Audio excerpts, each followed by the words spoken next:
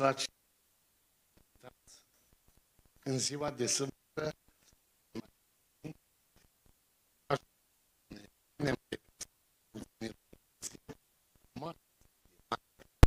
Dumnezeu ne-a îngăduit în ziua aceasta să venim în locul acesta.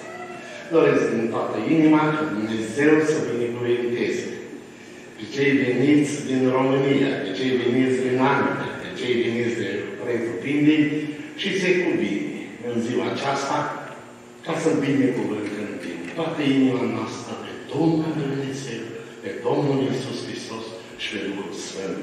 Amin. Acum, orchestra va lăuda pe Dumnezeu cu o cântare. În timpul acesta vor intra mirii, când mirii vor ajunge în față, se vor pleca de genunchi, ne vom ridica să noi în picioare, respectându-L pe Dumnezeu, cărora și acești tineri se roagă și noi ne rugăm. Avem același Dumnezeu și dorim din toată inima ca Dumnezeu să le verse binecuvântarea Lui peste noi. Locurile, chestia laudă pe Domnul, intra și continua.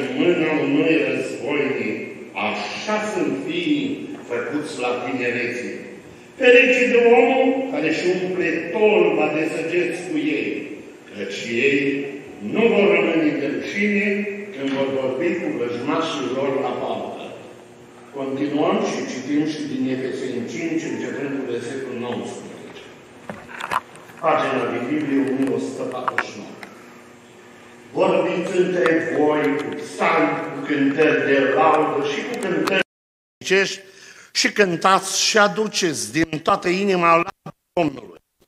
Mulțumesc Dumnezeu pentru toate lucrurile în numele Domnului nostru Isus Hristos Supuneți-vă unii altora în frica lui Hristos. Nevestelor, fiți supuse bărbaților voștri ca Domnului, căci bărbatul este capul nevestei, după cum și Hristos este capul bisericii, el mântuitorul trupului. Și după cum biserica este supusă lui Hristos, tot așa să fie supus bărbaților lor în toate lucrurile.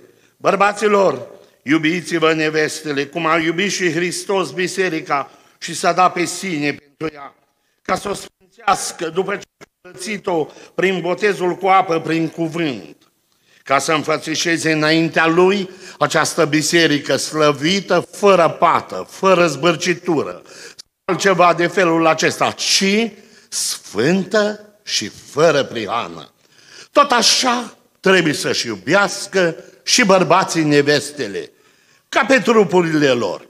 Cine își iubește nevasta, se iubește pe sine însuși, căci nimeni nu și-a urât vreodată trupul lui, ci îl hrănește, îl îngrijește cu drag, ca și Hristos biserica, pentru că noi suntem mădulare ale trupului lui, carne din carnea lui și os din oasele lui. De aceea, va lăsa omul pe tatăl său și pe mama sa și se va lipi de nevastă sa și cei doi vor fi un singur trup.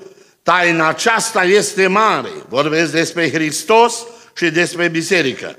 Încolo, fiecare din voi să-și iubească nevasta ca pe sine și nevasta să se teamă de bărbat. Amin. Aș dori ca fratele Gabi Țibu să vină mai în față una din rudenile pe care îl solicităm în ziua de azi, ca să se roage Domnului, ca Dumnezeu să reverse binecuvântarea Lui peste acest timp de evangelizare, de închinare înaintea Domnului, prin fratele Țibu, cerem binecuvântarea Domnului și îl dorim din toată inima ca Dumnezeu să lase har la timpul acesta când ascultăm cuvântul lui Dumnezeu care prinde bine și celui necăsătorit și celui căsătorit. Domnul să ne asculte. Tată bun din ceruri, venim cu mulțumiri înaintea Ta în numele Domnului Iisus Hristos în ziua aceasta. Să mulțumim pentru tot ce ai făcut și faci pentru noi, Doamne. Să mulțumim că suntem în locul acesta, Doamne. Să nu suntem un pat de suferință, un pat de spital, Doamne. Suntem aici, o Doamne, ziua aceasta. Venim cu mulțumiri înaintea Ta, Doamne.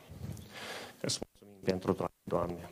Te rog să binecuvântezi pe Andrei, pe Alexandra, familiile lor, familia Iacoban, Doamne, familia Lupancu, și te rog să fii cu noi, Doamne, te rog să binecuvântezi frații care vor servi la serviciul acesta. Amin, te rog Doamne. să faci totul ce se va face aici, să fii spre slava numelui Tău pentru toate. Să mulțumim și te cinstim, Tată, Fiule, pentru Iisus, te în veci de veci. Mulțumim. Amin. Vă rugăm să reocupați locurile. Mai aveam un obicei și spuneam, dați cu cei din jur, dar suntem așa de respirați, că acum ar trebui să ne ducem așa, să umblăm printre mânci. Fiți bineveniți în casa lui Dumnezeu. Mă bucur că în ziua aceasta Dumnezeu ne-a ajutat cu pace și cu liniște, sănătoși, cât Dumnezeu ne-a dăruit la fiecare. Unul mai cu înțepuș, altul plin de vigoare și de sănătate. Mulțumim lui Dumnezeu că în vremuri de pace și de liniște mai putem avea căsătorii, mai putem asculta câte o cântare despre căsătorie. Când Dumnezeu binecuvintează o țară, ai să vezi copii jucându-se pe străzi sau la locurile de joacă. Vei vedea bătrâni care nu pot fugi la un loc de adăpost, dar pot merge sprijiniți de o cârjă, de un toiag, de miri și mirese. Câtă vreme Dumnezeu a mai dăruit pace și liniște în America, și căsătoria lui Alexandra și a lui Andrei și dorim din toată inima ca Dumnezeu să le binecuvânteze părinții prezenți, rudenile prezente și pe toți cei dragi ai lor și pe noi toți. Amin. În continuare, sora Tabita, știr de acum, eram să spun Iacobar, Domnul Iisus să binecuvânteze, va lăuda pe Domnul cu o cântare și după cântarea aceasta ne pregătim să ascultăm cuvântul Domnului prin fratele Andrei Domnulescu de la Canada. Domnul Iisus să binecuvânteze și Harul lui Dumnezeu să fie peste noi toți. Aș vrea să spun, mă bucur din toată inima că la căsătoria aceasta, după zeci de ani, am posibilitatea să mă întâlnesc cu frații lui Ilie, Lupancu, tatăl lui Alexandra, Mă bucur din toată inima să văd pe Cornel, pe Daniel, pe Doru și apoi Ilie aici printre noi. Domnul Iisus să-L binecuvânteze și pe el și familia lui. Erau copii. Mă bucur aici că e și Vasile Verișoru, care e și verișor cu ei, Vasile Bărsan, și aici este și Cornel Bărsan, venit din Canada, vă iubește pe voi ca familii. Domnul Iisus ne-a îngăduit în ziua aceasta să mai avem un timp de bucurie. Lăuda să fie Dumnezeu. Dumnezeu să binecuvinteze cântarea aceasta și apoi ne pregătim cu drag, cu aleasă inimă, mai ales că nu stăm mult. Hai ne concentrăm. Când se predică cuvântul lui Dumnezeu, să-L primim cu bucurie. Și Domnul Iisus să ne binecuvinteze pe toți. Amin.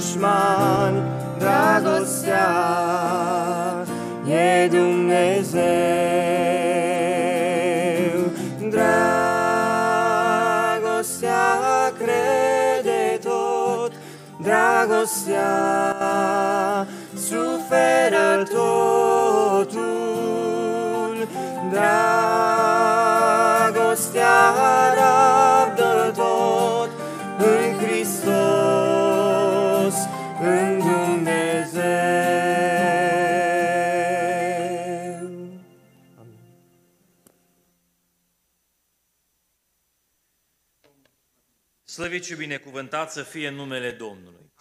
Iubiți frați și surori, și în ziua de astăzi, într-o conjunctură așa de frumoasă, la o căsătorie, se cade să-i dăm cinste lui Dumnezeu și să ne bucurăm că în prezența Lui putem să fim împreună, împreună cu mirile, cu mireasă, pe care dorim din toată inima Domnul Dumnezeu să-i binecuvânteze. Vă mulțumim foarte mult familiei pentru invitația călduroasă făcută și ne bucurăm împreună să putem fi la oaltă înainte lui Dumnezeu și cum spunea și fratele Nicu, am vrea să împărtășim câteva gânduri frumoase din cuvântul lui Dumnezeu care sunt practice și de folos nouă pentru trăirea înainte lui Dumnezeu, în special în cadrul căsătoriei. Vom vorbi în această zi despre căsătoria care este binecuvântată de Dumnezeu și mai aparte despre ceea ce face Dumnezeu într-o familie. Până să ajungem acolo, în schimb, ne vom întoarce cu gândul la ce înseamnă succesul sau pachetul necesar pentru familia contemporană, pentru că în familia modernă sunt nevoie de mai multe lucruri. Aici colo va apărea din când în când câte un video și vezi câte un om mai înaintat în vârstă sau bătrân, nu știu cum să spunem ca să fie cât mai politic corect, care va fi întrebat care este uh, succesul sau care este secretul să fii căsătorit, auzi, 50, 60 de ani și să fii atât de fericit, care este secretul? Ba încă aici, colo, pe câte un web se mai scria succesul sai sau secretul sai două băi diferite. N-am înțeles aceasta. Alții inventează tot felul de lucruri. Auzi, ca să ai o viață fericită, ai nevoie de tot felul de lucruri. Dar pentru familia contemporană, în anul 2019, care se căsătorește, oare ce este necesar ca să fie bine, să fie toți fericiți, viață lungă și numai succes. Oare ce este necesar? Vor spune unii pentru ca familia să fie bine în familia contemporană, este nevoie de consiliere premaritală, lecții, discuții, cum să fii căsătorit înainte să fii căsătorit. Nu știu dacă se poate învăța înainte de căsătorie cum să fie căsătoria. Încercăm tot și și întâlniri și nevoie de câte? Șase sesiuni, de zece sesiuni, câte e nevoie de subiecte să cuprindem în noastră. Cineva va striga, păi biserica nu se implică să facă consiliere premaritală. Ce ne-om face noi căsătorile noastre? Ferească Dumnezeu!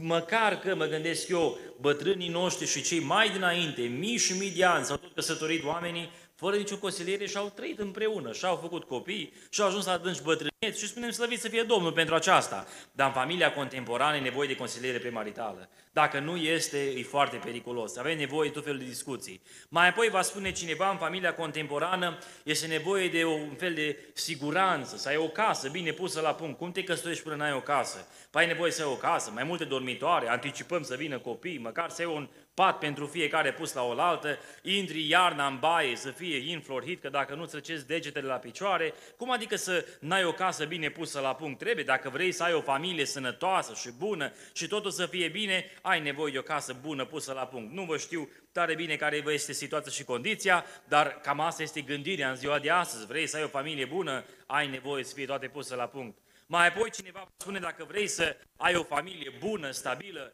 ai nevoie de un serviciu bun, măcar ceva director, CEO, președinte la ceva companie, să vii cu elicopterul acasă ca să fii bucuros când mâncarea gata să miroasă de pe cine știe al etaj.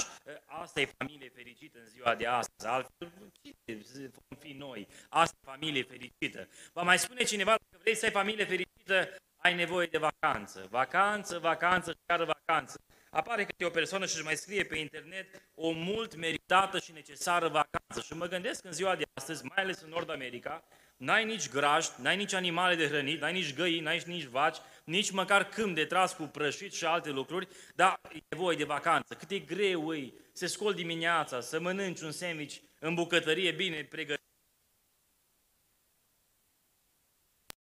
condiționat, ai nevoie de vacanță. Altfel, cum? Asta familie nu va rezista dacă nu are vacanță. Și nu spune acolo mult meritată și necesară vacanță. Și după toată vacanță, mai nevoie de vacanță să ne de vacanța care am făcut-o. Asta înseamnă să ai familie de succes în ziua de astăzi. Altceva vă spune, mai nevoie să ai investiții la companiile cu tare. Colegii mei vorbeau loc în zilele acestea pe o companie care numai ce intrase la o sau care n-am înțeles foarte bine subiectul, dar cei ce au investit în ea au avut uh, bucuria, să zic așa, să-și recolte uh, investiția lor de trei ori mai mult în decurs a câteva ore. Erau disperați tot.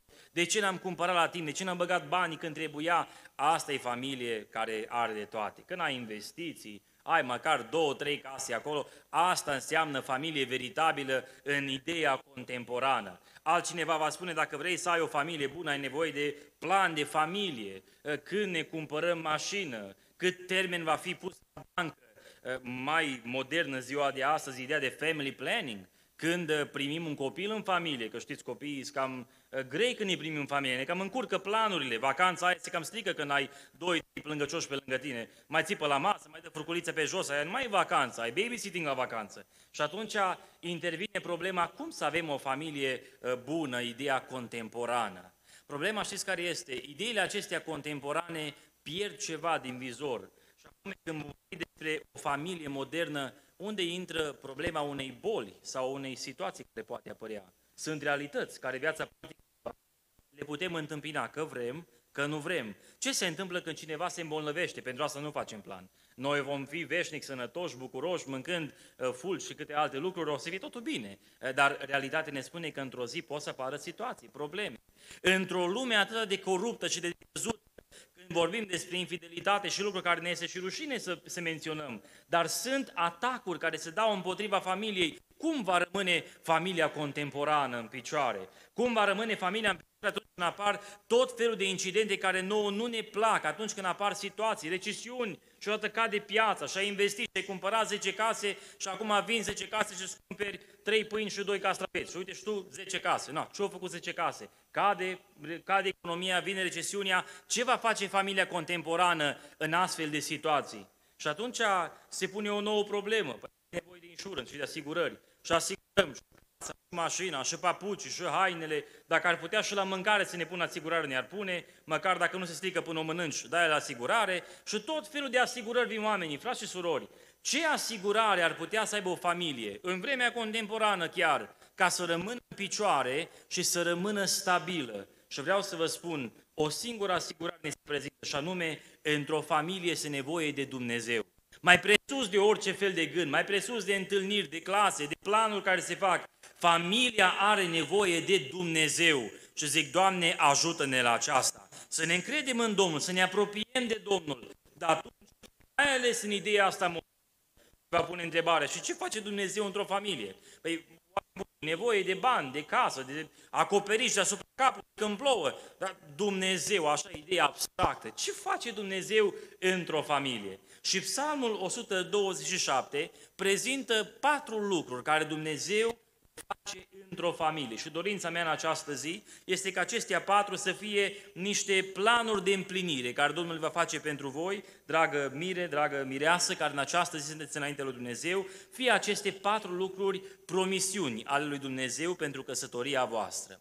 În primul rând, într-o familie, ce face Dumnezeu? După primul verset care noi îl citim, în primul rând Dumnezeu zidește. Versetul 1 din Psalmul 127, dacă nu zidește Domnul o casă, degeaba lucrează cei ce o zidesc.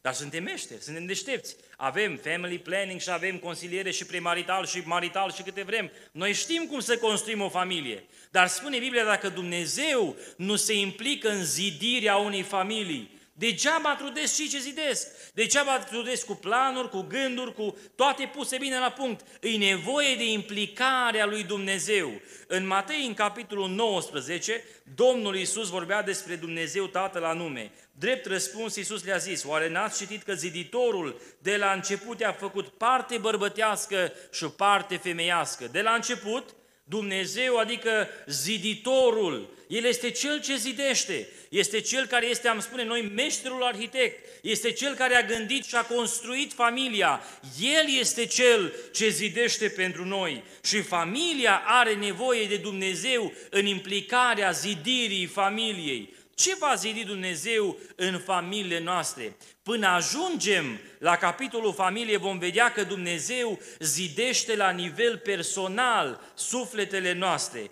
În Iuda, în capitolul 1, în versetul 20, apostolul spunea în felul acesta, Dar voi, prea iubiților, zidiți-vă sufletește pe credința voastră prea sfântă, rugați-vă prin Duhul Sfânt, țineți-vă în dragostea lui Dumnezeu și așteptați îndurarea Domnului nostru Isus Hristos pentru viața veșnică. Până vom vorbi despre o familie zidită înainte lui Dumnezeu, binecuvântată de Dumnezeu, vom vorbi despre două persoane care s-au întâlnit cu Dumnezeu, un bărbat și o femeie, un tânăr și o tânără care s-au întâlnit cu Dumnezeu, în a cărei viață Dumnezeu deja a lucrat la procesul zidirii sufletești personale, prin aportul cuvântului Dumnezeu, prin aportul Duhului Sfânt, avem nevoie de sfânta pocăință. Și până vom vorbi despre uniunea în familie, această căsătorie, vom vorbi de două persoane care sunt deja în Domnul, care deja și-au pus viața în mâna lui Dumnezeu și astfel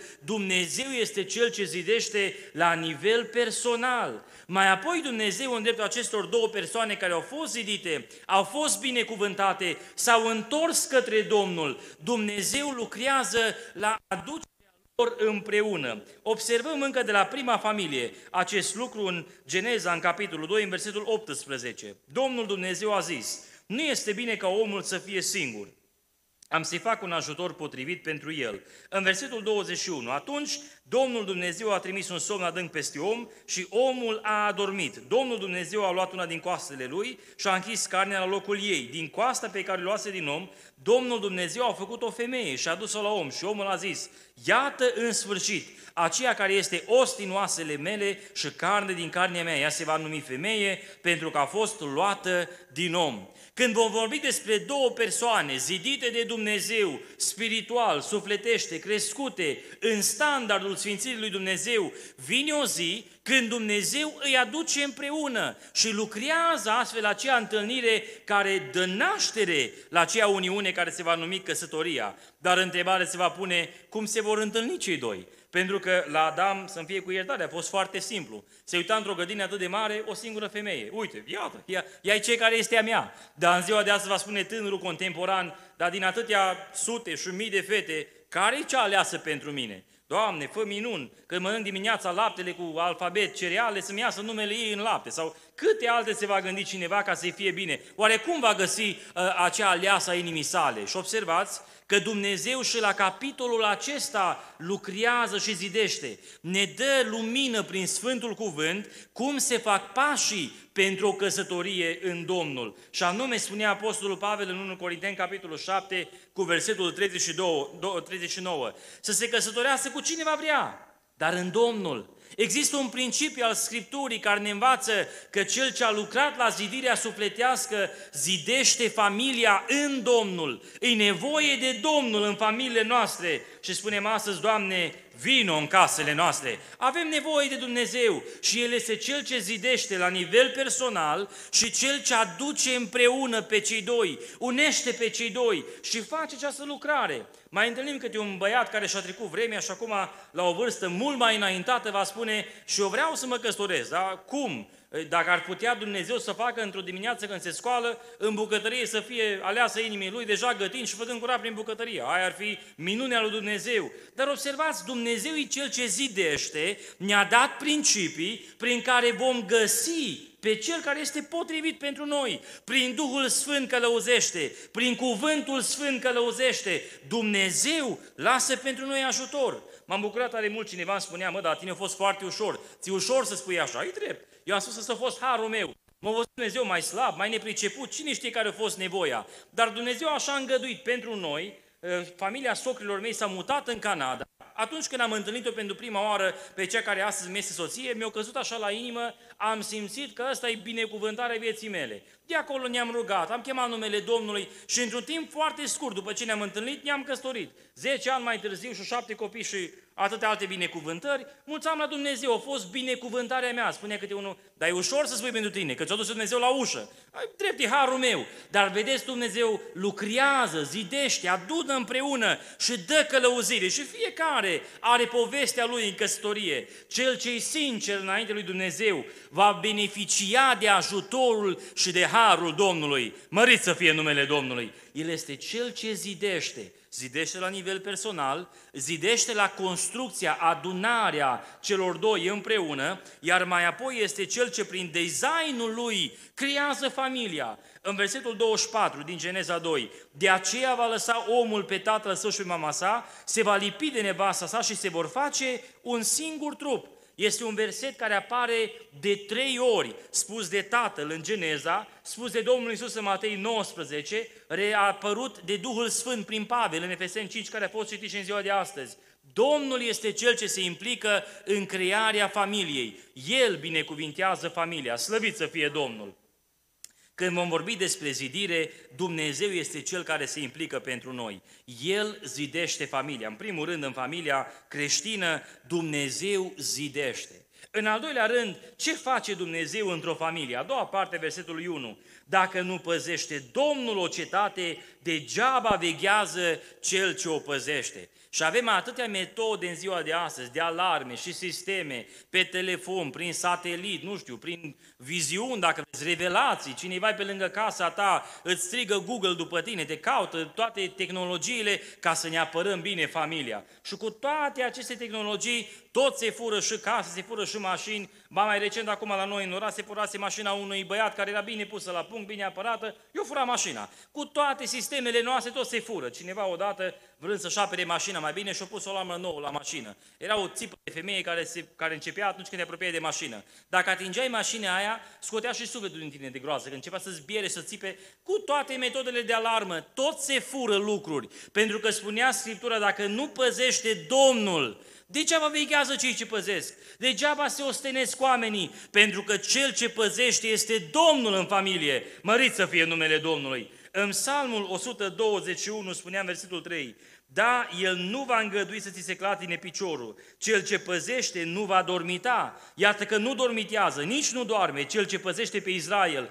Domnul este păzitorul tău. Domnul este umbra ta pe mâna ta cea dreaptă. Cel ce păzește este Domnul. Cade curentul, s-a dus toată tehnologia, s-a dus și alarma, s-a dus și camera, s-a dus sistemul. Dar este un ochi mai presus de orice care ne privește. Este Domnul care veghează asupra unei familii. Mărit să fie numele Domnului. El se implică nu doar la zidire, dar continuă pe mai departe și cel ce păzește familia se implică în păzirea unei familii. Și de fapt ce vrea Dumnezeu? Mântuirea noastră. Pentru că spunea în 1 Petru, capitolul 1, cu versetul 5, voi sunteți păziți de puterea lui Dumnezeu prin credință pentru mântuirea gata să fie arătată. Scopul lui Dumnezeu pentru familie și finalul familiei este împărăția lui Dumnezeu. Veghează asupra familiei pentru mântuire. El este cel ce este implicat. Oare practic vorbind, ce ar trebui să păzească Dumnezeu într-o familie? Observați atentatele celui rău care se pot răsfrânge asupra unei familii. În Proverbe, în capitolul 7, cu versetul 4, zi înțelepciunii tu e sora mea și numește priceperea prietena ta și uh, ca să te ferească de nevasta altuia de străina care întrebuințează cuvinte ademenitoare. Va da deodată târcoale păcatul, cum spunea în Geneza 4, păcatul pândește la ușă, tu să-l stăpânești, va apărea o ispită, va apărea un gând din partea celui rău și Domnul este cel ce păzește integritatea familiei pentru mântuire, pentru protecție, pentru stabilitate. Domnul este cel ce se implică în păzirea familiei noastre. Va mai păzi Dumnezeu familiile noastre de gândurile care unii vor încerca să le plaseze în mintea noastră. Observați în Proverbe, în capitolul 5, cu versetul 15. Bia apă din fântâna ta și din izvoarele puțului tău. Ce vrei să ți se verse izvoarele afară? Să-ți scurgă râurile pe piețele de obște? Lasă-le să fie numai pentru tine și nu pentru străinii de lângă tine. Observați o aplicație practică în anul 2019. Cineva se căsătorește, merge în vacanță, vine acasă, deodată pe Facebook apare o listă întreagă de poze. Uite unde am fost. Am fost acolo, am fost acolo, am mâncat ghețat, am mâncat race, am mâncat câte am mâncat. Uite câte am făcut, am fost cu telefericul, am fost cu avionul, am fost cu apa, cu delfinii. Toate pozele care le-au fost în vacanța aia apar pe internet. Și acum vine vecinul, se uită. Bă, dar noi suntem vai și mari de noi. Ăsta merge și cu delfinii, și cu elicopterul, și noi am mers cu mașina, numai atât. Mașini, mai mult de mașină am văzut și pe jos am mers uneori. Dar ăștia au mâncat, uite cât eu mâncat, noi ce mâncăm? Pâine prăjită și Filadelfia, aia e tot ce mâncăm. Vai și mari de noi ce am ajuns. Și odată încep să apară comparațiile și ne trezim în familie cu nemulțumire. Uite ce casă avem noi, uite ce casă are ăla, uite ce mașină au ce mașină avem noi. Pentru că în loc să ne uităm înspre familiile noastre, înspre ceea ce a binecuvântat Dumnezeu, ne uităm la ceea ce este altuia. De-aia spunea, vrei să verse râurile afară? Bucură-te și păstrează al tău ce este al tău. Cel ce păzește familia de astfel de atentaturi este Dumnezeu. El se implică în paza familiilor noastre. Ba mai mult, față de atacuri asupra minții, Oare suntem mântuiți? Oare nu suntem mântuiți? Oare de ce vine ta încercări peste familia noastră? Tot Domnul este Cel ce păzește. De aceea spunea în Filipeni, în capitolul 4, cu versetul 7, și pacea lui Hristos care întrece orice pricepere, vă va păzi inimile și gândurile în Hristos Iisus. Domnul păzește familia. Mărit să fie numele Domnului. Se implică nu doar în zidire, nu doar în păzire, dar în al treilea rând, în susținerea unei familii în versetul 2 din Psalmul 127. Degeaba vă scolați de dimineață și vă culcați târziu ca să mâncați o pâine câștigată cu durere, căci preiubiților lui el le dă pâine ca în somn. Domnul nu numai că a dus pe cei doi împreună și a zidit, Nu numai că a vegheat ca mai departe să-i păzească, dar Dumnezeu se angajează să le poarte de grijă. În Matei, în capitolul 6, în predica de pe munte, ultimul verset spunea versetul 34, Nu vă îngrijorați dar de ziua de mâine, căci ziua de mâine se va îngrijora de ea însăși. Ajunge zilei necazul ei. Cel ce veghează și păzește și dă biruință familiilor noastre este tot Dumnezeu. Fără sănătate de la Dumnezeu nu putem sta în picioare. Fără aportul lui Dumnezeu nu putem sta în picioare. Cel ce binecuvântează încuvintează familia mai departe în îngrijirea familiei este tot Domnul. El este Cel ce se implică să lase pentru noi binecuvântări și în momentele grele Dumnezeu intervine. Preiubiților Lui, El le dă pâinea ca în somn. Desigur, Biblia nu ne învață la lenevie. Nu va fi cineva să stea acasă, să facă o simplă rugăciune, spune, Doamne, acum a fost să apare un pui pe masa noastră șopită și bine mai fi pentru noi. Nu aceasta spune Biblia. Pavel spunea fiecare să muncească cu mâinile lui. Este un principiu biblic, dar vreau să vă spun, cel ce poartă de grijă unei familii este tot Dumnezeu. Pentru că fără aportul lui nimica nu rămâne în picioare. Cum spuneam de la început, vine o, o problemă economică, cade economia, vine o recesiune. Ce se face o familie atunci dacă nu are pe Dumnezeu ca apărător, ca sprijinitor și cel ce binecuvintează în nevoile familiei? Domnul este Cel ce se angajează pentru noi să ne poarte de grijă. Mărit să fie Domnul! El este Cel ce binecuvintează familiile noastre și în domeniile acestea pământești se implică pentru noi să ne binecuvânteze. Știu un caz concret, unde o familie, ajungând la o situație de încurcătură grea financiară, la un moment dat rămăsese fără bani deloc acasă. S-au rugat, au chemat numele Domnului, au apărut câteva contracte deodată care erau chiar o soluție pentru ei, dar una după alta, așa cum au apărut, așa s-au închis. Și din nou familia aceasta intră în rugăciune înaintea Domnului. Printr-o înștiințare din partea lui Dumnezeu, spunea Domnul în dreptul acestei familii așa, când vă veți uita în sus, întru totul, va apărea din partea lui Dumnezeu o pânză care vă va înconjura și va constrânge și va constrânge până veți ridica privirea în sus. Și atunci când veți privi în sus, atunci va veni biruința din partea lui Dumnezeu. În situația aceea de constrângere, spunea Domnul, atunci Dumnezeu va interveni. Au mai trecut câteva zile după această descoperire, greutate după greutate, piedică după piedică și în decursul a câtorva zile, așa a făcut Dumnezeu, ca să vedeți că El este Cel ce dă pâinea ca în somn, a pus pe inima unor oameni din jurul acestei familii care nu știau nimic de situația lor, să intervină prin niște ajutoare care ei nu știau de ce le dau. Ne-a pus Dumnezeu pe inimă să vă dăm niște bani. Uite, aici este un cec din partea noastră. Altcineva a venit, tot la fel. Și în decursul a două, trei săptămâni s-a implicat Dumnezeu să-i scoată din impasul în care intrase. Pentru că El este Cel ce se angajează să poarte de grijă familiilor noastre. Mărit să fie numele Domnului. Cu toată strădania noastră, dacă Dumnezeu nu intervine, degeaba. Nu vorbim de lenevie, vorbim despre supremația lui Dumnezeu de a păstra familiile noastre. Și în ultimul rând, dacă Dumnezeu zidește, dacă Dumnezeu păzește, dacă Dumnezeu poartă de grijă, în ultimul rând, Dumnezeu este Cel ce răsplătește și binecuvântă familia cu copii. În versetul 3, iată, fiii sunt o moștenire de la Domnul, rodul pântecelui este o răsplată dată de El. Desigur, în uh, ideea contemporană, cum spuneam la început, ideea de copii este una periculoasă. Uh, se făcea un calcul acum câțiva ani și spunea niște psihologi, dacă ai vrea să crești un copil în Nord America, te va costa până la vârsta de 18 ani aproximativ 250.000 de dolari. Mă, cine are să bani? Uh, mai bine îți cumperi o casă.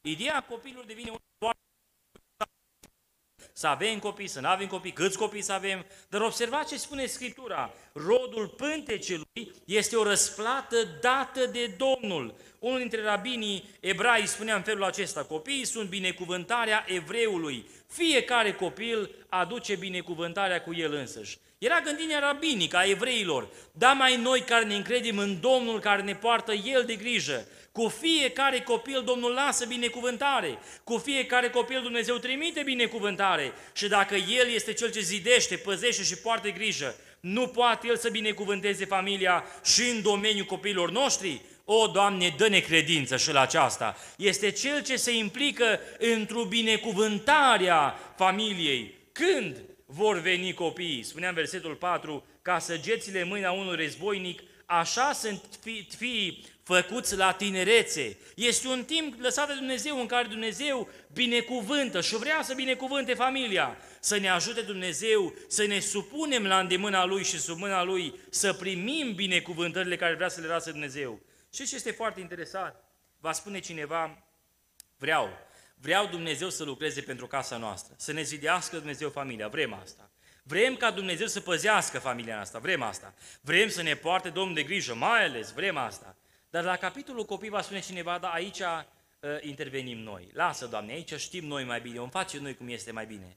Dar observați, dacă El este Cel ce zidește, Domnul, dacă El e Cel ce păzește, dacă El e Cel ce binecuvintează, El rămâne Cel suveran și în viața și desfășurarea vieții familiei. Este Cel ce binecuvintează familia după planul Său și în măsura în care El va vrea. Aceasta este lucrarea care o face Dumnezeu într-o familie. Și mai presus de toate gândurile omenești care pot apărea, cele bune și cele care pot să fie date, mai presus de planurile care noi le facem, mai presus de saving și vacanțe, avem nevoie de Dumnezeu în familiile noastre. Pentru tânăra familie care astăzi se formează, vă urez din toată inima mergeți împreună cu Domnul în drumul căsătoriei voastre. Să fie Dumnezeu implicat ca, ca și cum a fost până acum, cred din toată inima, în Cel ce va zidi familia voastră. Până aici a zidit la nivel personal, de aici înainte să zidească Domnul. Fie Domnul Cel care să păzească familia voastră de atacurile celui rău și de atentatele care pot apărea. Fie Domnul Cel care se va angaja să poartă de grijă casei voastre.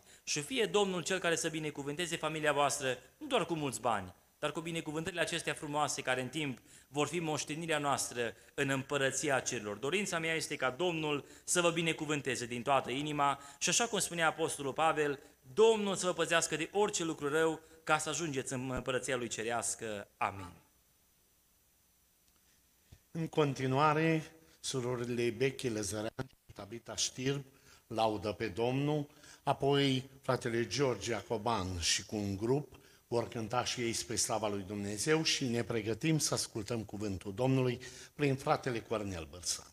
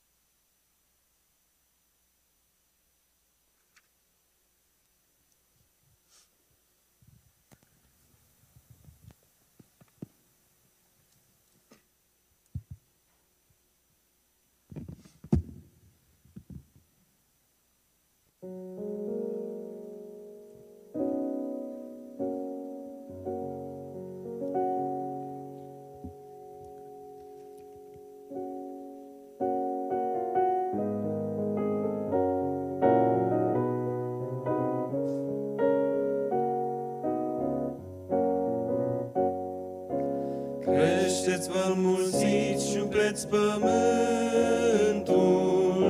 răsună-ne de porunca sa. Toate împlineau atunci cuvântul, de la început așa era. Toate erau puse în armonie, toate calea sfântă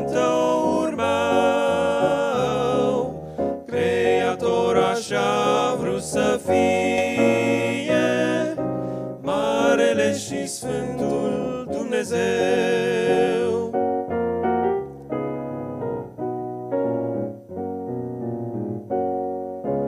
A tot ziditorul cu iubire, chiar după asemănarea sa. L-a făcut pe om ființă vie, să-și arate în el slava sa. Să dăinuiască, Dumnezeu o coastă i-a luat, o femeie să-i plămădească, căci el este un meșter minunat.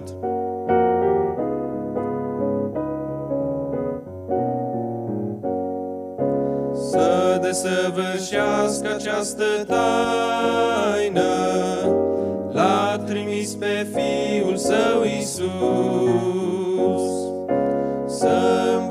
suferinței haină, Pe pământ să sufere nespus, Să-și răscumpere de aici mireasa, pentru nunta ce s-a pregătit, să-și prezintă cerului aleasa, pentru care atât a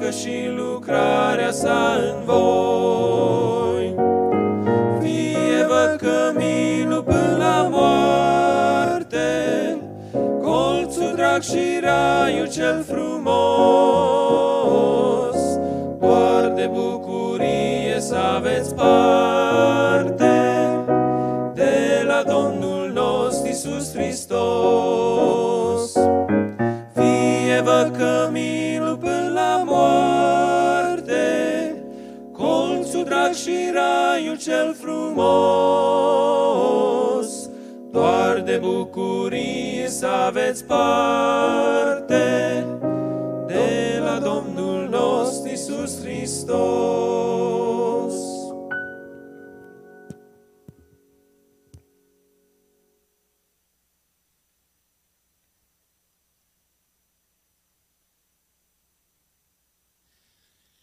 Frați și surori, prin Harul Domnului suntem împreună în această zi și înainte de a spune câteva gânduri, am pe suflet să vă îndemn pe toți a ne uni și a lăuda pe Dumnezeu Tatăl nostru, pe Domnul Isus Hristos și pe Duhul Sfânt. Amin. Mă bucur pentru Andrei și Alexandra. Familia lui Pancu nu e o familie cunoscută de mine, măcar că originea la satul mare, tata meu a părăsit din tinerețe satul mare, a ajuns în județul Botoșani cu probleme de serviciu, acolo a întâlnit pe mama, s-a căsătorit și din când în când noi veneam în vizită la satul mare și mai știu așa frați cu care m-am întâlnit, dar nu mai știu așa de bine ca și cum aș fi stat acolo. Dar mă bucur acum să aflu că suntem la o căsătorie unde oameni de la originea locurilor de unde Dumnezeu a făcut să fim și noi, sunt împreună legați la această părtășie și mă rog pe Andrei și pe Alexandra, Domnul să vă binecuvinteze. Când am fost invitat să venim la căsătoria aceasta, am spus nu se poate să refuzăm, dat fiind faptul că atunci când eu am avut nevoie și pe fratele Sorin l-am invitat în multe rânduri, nu uit anii din început, când am început eu slujirea din Canada și aveam nevoie de ajutor la stăruință, la rugăciune, frați din Detroit, împreună cu fratele Sorin, ne-au vizitat, ne-au sprijinit, Relațiile care le-am dezvoltat pe mai târziu cu biserica de aici ne fac să ne simțim datori ca atunci când e nevoie să fim împreună. Știți dumneavoastră că o vorbă înțeleaptă românească spune bucuriile și necazurile ne adună la oaltă. Am fost în alte împrejurări când durerea ne-a motivat să fim alături. Azi e nuntă, e altă motivație, o zi a bucuriei. Și împreună în fața Domnului și a Sfântului Său Cuvânt învățăm câteva lucruri. Ele sunt necesare pentru Andrei și Alexandra, sunt necesare pentru ceilalți care suntem în adunare. Unii suntem căsătoriți de mai multă vreme, alții nu de așa multă vreme. Probabil alții încă nu sunt căsătoriți, cu siguranță nu sunt căsătoriți și se vor căsători în viitor. Am privit în Scripturi și am găsit în Psalmul 127, pe care fratele Andrei l-a avut pe inimă să-l luăm la slujirea de aici, că poate să existe o familie care ar putea să învingă pe cel rău. Cuvântul Domnului din finalul psalmului spune așa, ei nu vor rămânea de rușine când vor vorbi cu vrăjmașii lor la poartă. Cu dumneavoastră știți, și eu știu la asemenea, familia e prima instituție pe care Domnul a creat-o. Cea de-a doua instituție este biserica. Ele au la origine intervenția planului divin și a mâinii dumnezeiești. Împotriva acestor două instituții, din totdeauna s-au dat luptele cele mai cumplite pentru a le demola, a le încurca, a le rupe fericirea sau a le destrăma. Pe aici, pe acolo a reușit satana, și în familii, și în biserici. Dar peste tot n-a reușit. Pentru că Domnul care veghează, atunci când familia își pune încrederea în El și ține la principiile pe care Domnul le-a enunțat, familia poate birui.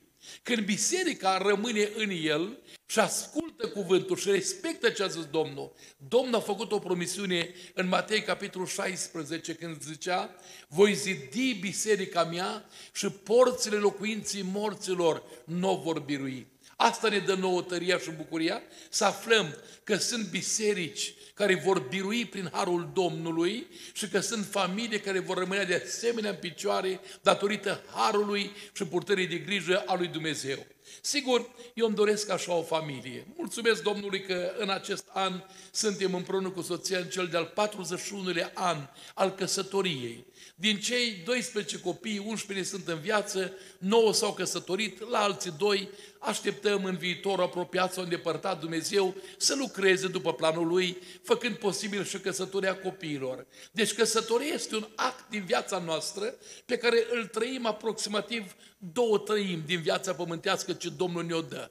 Cam o treime suntem tineri necăsătoriți, iar după aceea aproximativ două treimi suntem căsătoriți. În timpul acestor două treimi, până ne cheamă Domnul la cele veșnice, avem ocazia și binecuvântarea enunțată în Psalmul 128 să ne căsătorim copiii și să vedem pe copiii copiilor noștri. Și este o binecuvântare. Și mulțumim lui Dumnezeu că face lucrurile astea frumoase pentru noi. La mine s-a născut o întrebare și aș vrea cu ajutorul Domnului să dau câteva răspunsuri din cuvântul de aici care este acea familie care ar putea învinge pe cel rău și când ar vorbi cu vrăjmașe la poartă să fie biruitoare și nu învinsă? Că de acea familie am nevoie eu, de acea familie mă rog la Dumnezeu să facă parte copiilor mei, de acea familie mă rog la Dumnezeu să facă parte fraților, surorilor din adunare, bisericile în care slujim au mulți copii. Spuneam fratelor Andrei, dacă Domnul ne îngăduie să ajungem, știu eu, încă vreo 5 ani de aici încolo, probabil vom avea mult mai multe căsătorii, pentru că sunt mulți copii la biserică la noi și aș vrea toți cei ce iubesc pe Domnul să formeze familii care să poată fi biruitoare învingând pe cel rău. Cuvântul Domnului de aici aduce câteva criterii în față. Probabil unele din ele le voi repeta din predica fratelui Andrei, dar nu voi face altceva decât să întăresc aceste adevăruri relatate în Cartea Psalmilor la acest psalm așa de minunat. Primul verset spune despre familia care vrea să fie biruitoare, că atunci când începe zidirea sau când începe construirea sau formarea, nu o face de capul ei, ci o face împreună cu Dumnezeu. Versetul 1 spunea, dacă nu zidește Domnul o casă, degeaba lucrează cei ce o zidesc. Sigur, s-au găsit de-a lungul timpului ziditori pentru familii, oameni cu îndemânări de a pune oamenii la oaltă, vine unul dintr-o parte, vine altul din alta, la noi este un frate mai bătrân care are el preocuparea asta și tot vrea câte un tânăr, mai ales când îl vede că a rămas așa un pic mai urmă, să recomand el câte o fată. Și acum într-o zi i-a dat o fotografie unuia și a zis, mă, ai sunat-o? Și ăsta N-am sunat-o, dă poza înapoi, mă. Trebuie să caut pe altcineva, să-i dau fotografia, dacă tu ești așa de leneș și n-ai făcut asta. Se pricep mai mulți oameni la a încerca într-un fel sau altul să pună oamenii la oaltă. Însă încercările tuturor pot fi zadarnice dacă nu se implică Domnul la zidire. Aici, eu cred că atunci când cineva vrea să-și formeze familia, ca să poată să-L implice pe Domnul, El însuși trebuie în mod individual să fie zidit în Dumnezeu. Și în sensul acesta vreau să deschid în Evanghelia de la Matei, la capitolul 7, unde Domnul Isus a vorbit în felul acesta la versetul 24.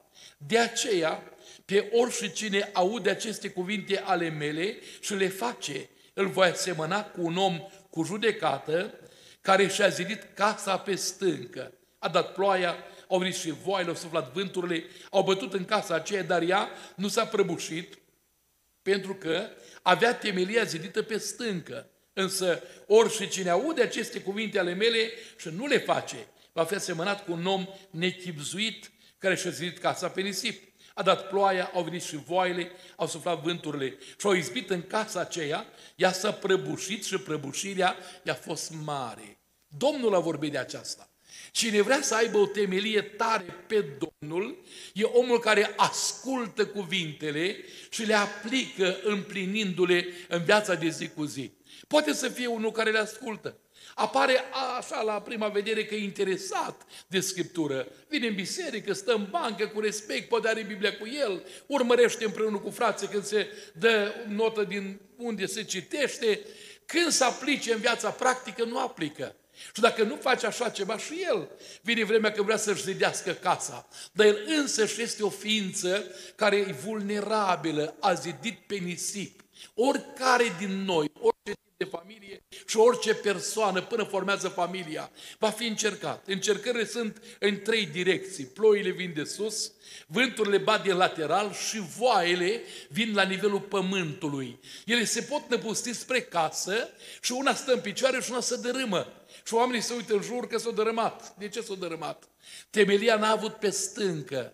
Și Domnul a spus că numai aceia care ascultă cuvintele și le împlinesc, ăia pot avea temelia pe stâncă. Ca atare, o casă să poată fi zidită de Domnul, Trebuie atât băiatul cât și fata care pornesc împreună pentru a forma familia. Să fi fost oameni care în viața privată au zidirea în Dumnezeu.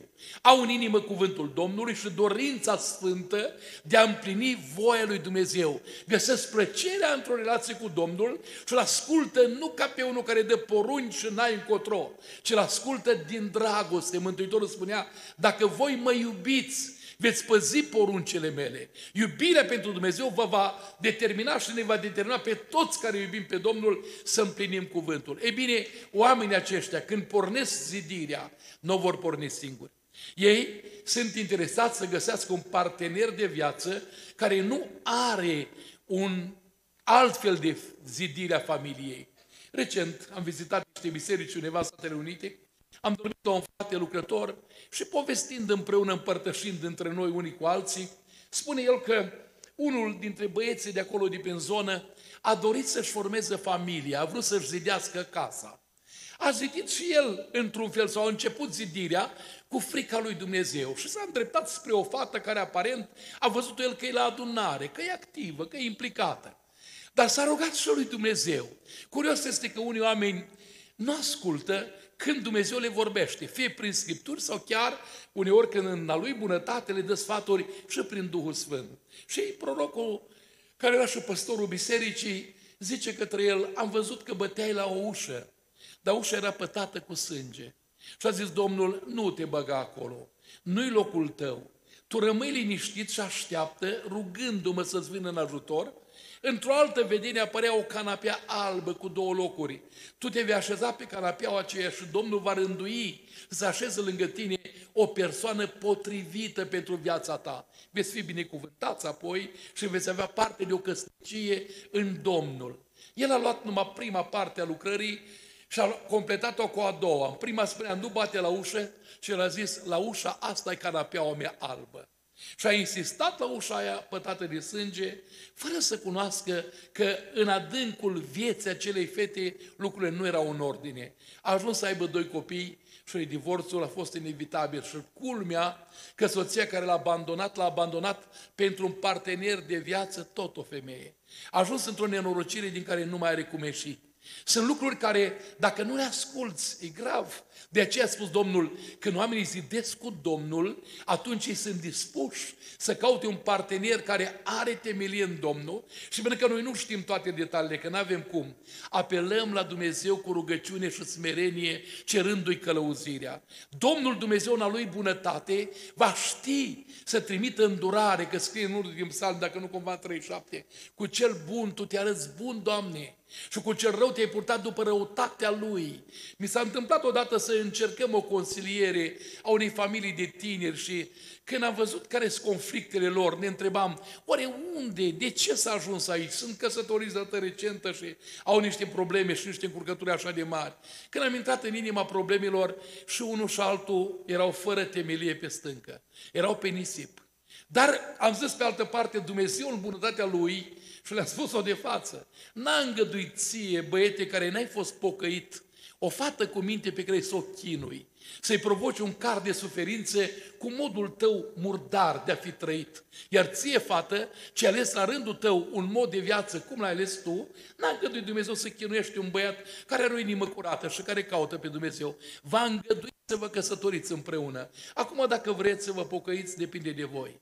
Dacă nu vreți să vă pocăiți, casa voastră se va ruina foarte repede. Tragem nădejde că oamenii au promis că se vor pocăi. Să ne dăjdim că vor reuși lucrul ăsta. Dar remarcați, e așa de important să ceri Domnului ajutor pentru căsătorie. Oricare din noi, ca oameni, putem să ne încurcăm că ne înșeală aparențele și nu suntem noi experți în a putea pătrunde în mintea oamenilor și nu cunoaștem lucruri ascunse, dar le cunoaște Dumnezeu. Știți dumneavoastră foarte bine, profetul Samuel foarte cu inimă curată merge să aleagă un împărat din casa lui Isai și îl vede pe Eliab înalt, chipeș, frumos, a privit spre ce putea să reprezinte țara ca împărat. Precedentul împărat era tot un om înalt și frumos, Saul, nu? Și acum a zis, negreșit, Eliab e aici, înaintea Domnului. Dumnezeu îi spune, nu e adevărat. Pe ăsta l-am lepădat și nu el. Și atunci s-a uitat la un al doilea și al treilea și când a văzut că Domnul n-a probă pe niciunul, mai ai pe cineva, mai am pe cine? Păi nu e acasă, e unul mai micuț, e pe la oi, nu mâncăm până nu vine și el. Când a venit acolo, Domnul confirmă, ăsta e potrivit pentru slujirea în care intrăm. A fost un proroc în stare să se poată încurca, judecând la prima vedere după ce izbește privirea. Ei, dacă prorocul Samuel din copilărie care a auzit cuvântul Domnului a avut riscul să judece greșit, dumneata crezi că nu poți face același lucru? Noi toți putem face același lucru. Lucruri de la prima vedere, mă, parcă e bun băiatul ăsta. Seamănă parcă cu fata noastră. Se potrivesc la înălțime. Uite, amândoi sunt plăcuți. Ce bine ar fi să fie împreună? Dar cine cunoaște adevărurile care nu se văd? Și cine cunoaște viitorul pentru cei doi? Capacitatea de a rezista la furtuna și încercările care vor veni, vânturi și voie, ploi. Cine știe asta dacă nu Dumnezeu? Și atunci, în viață, când începi cu Dumnezeu, nu vei fi dezamăgit niciodată. Nu e pentru mine o laudă, dar este o mulțumire în suflet să spun că aveam 16 ani când am văzut pe cineva din rudele mele nefericit în căsătorie. M-am speriat. Eu la părinții mei n-a fost văzut așa ceva. Conflicte care să apară și tulburări și neliniști. Și a zis, Doamne, de eu știut că familia e altfel. Doi oameni care nu se împacă. Pocăiți amândoi. Niciunul nu ținea de lucruri păcătoase, oribile, dar o nepotrivire, unul mai iute, unul mai calm. Nu era nimeni dispus să rabde cu adevărat și conflictele apăreau așa de des. Și atunci am început să mă rog, Doamne, când am fi să mă căsătoresc, evident că acum la 16 ani nu-s de căsătorit, dar când a venit vremea aceea, dă-mi o fată să-ți pot sluji împreună ție cu ea. Și vreau împreună cu ea și copiii care ne vei da să ajungă în împărăția ta. Asta a fost rugăciunea mea. Nu mă ruga mult, m-a rugat numai trei ani, că pe la 19 ani jumătate s-o și împlinit. M-a ascultat Dumnezeu și suntem împreună de 41 de ani și îi mulțumesc lui Dumnezeu că timpul a confirmat, că Domnul a hotărât unirea noastră. Când ești tânăr, ai o mulțime de posibilități. Ca băiat ai de făcut multe alegeri și ca fată. Să accepti o propunere pentru căsnicie sau să nu accepti.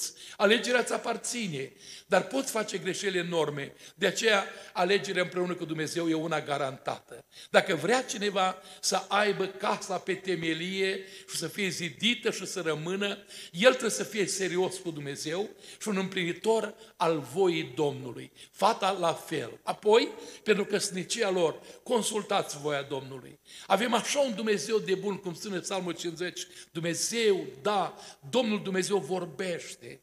El vrea să vorbească cu noi și ne-a binecuvântat din tot ce a făcut Dumnezeu și a creat pe lume. Pe noi ne-a făcut coroana creațiunii, ne-a pus inteligență, rațiune, ne-a dat grai articulat, a pus în noi sentimente și emoții. Să știm să ne exprimăm, să știm să comunicăm, să putem vorbi cu El și să putem vorbi între noi. Ce har avem noi față de toată creația lui Dumnezeu. Și atunci dacă avem un Dumnezeu care vrea să ne vorbească, nu merită să ne sfătuim cu El?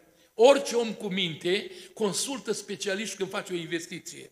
Vrea să facă o clădire, va chema pe cineva care cunoaște termenii construcției și va bea sfatul, va cere sfatul. Așa va trebui. Ei, în căsătorie, vă putem sfătui și noi câte ceva, încât ne pricepem în îndemnările care vi le dăm. Dar nimeni nu poate face o sfătuire ca a Domnului. De aceea e bine să stai smerit și pocăit și înainte să pornești hotărârea ta în căsătorie, asigură-te că l-ai întrebat pe Domnul și că Domnul la lui bunătate ți-a vorbit. Are mai multe modalități. Poate vorbi prin prorocie, poate vorbi într-un vis, printr-un semn, poate vorbi într-un fel, printr-o întâmplare a vieții. Are Dumnezeu diferite metode prin care vrea să vorbească cu noi, ca și părinți care sunteți părinți și aveți copii. Dacă vine copilul sincer la dumneata, ca tată, și spune, nu știu bine ce alegere să fac.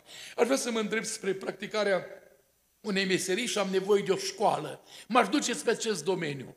Poți să-mi dai un sfat, tată? Ce zici?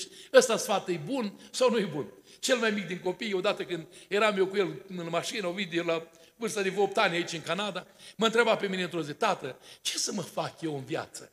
Și eu mă uit către el zic, măi Ștefan, eu am fost electrician înainte să fiu popă și tot aș vrea să spun că e bine pentru tine să te faci electrician. Dar el se uită la mine, da, să mă curentez.